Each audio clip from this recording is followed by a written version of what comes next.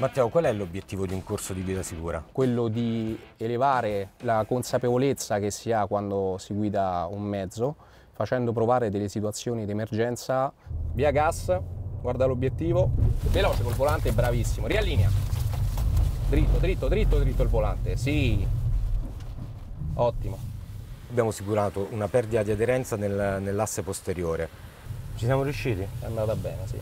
Freddezza nel continuare a guardare il mio obiettivo, dove voglio andare, perché poi il controsterzo, che è la manovra da fare sul volante, verrà di conseguenza.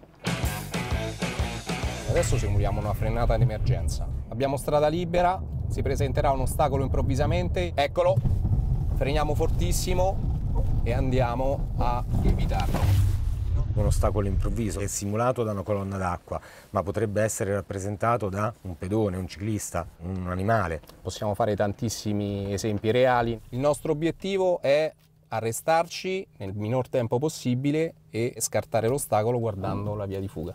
Come abbiamo fatto per evitarlo? La prima cosa è una massima spinta sul pedale del freno, poi quando capiamo che non riusciamo ad arrestare la vettura prima di questo ostacolo improvviso, andarci a cercare lo spazio libero e indirizzare la macchina mantenendo sempre una gran spinta sul pedale del freno.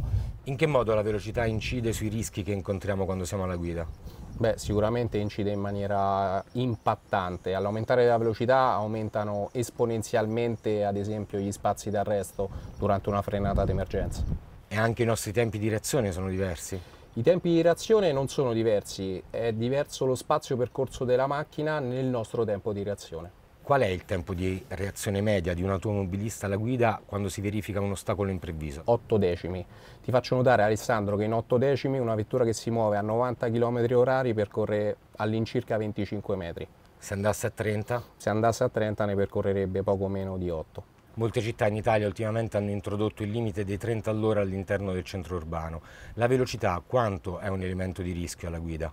Il fattore velocità è uno dei principali che unita alla distrazione del, del guidatore potrebbe essere comunque fatale. Per il guidatore ma soprattutto per quelli che sono gli utenti deboli della strada, ad esempio i pedoni. I ciclisti e quindi è importantissimo non risolvere un'eventuale situazione di pericolo ma cercare di lavorare sempre in prevenzione.